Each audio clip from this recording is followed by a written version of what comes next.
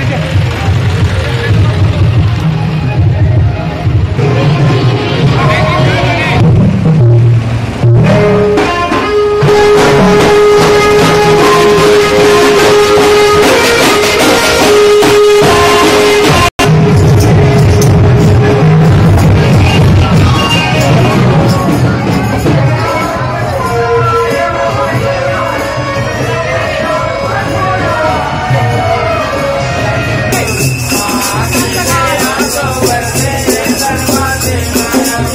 तो तेरा हमारा होते माता दर्शन को।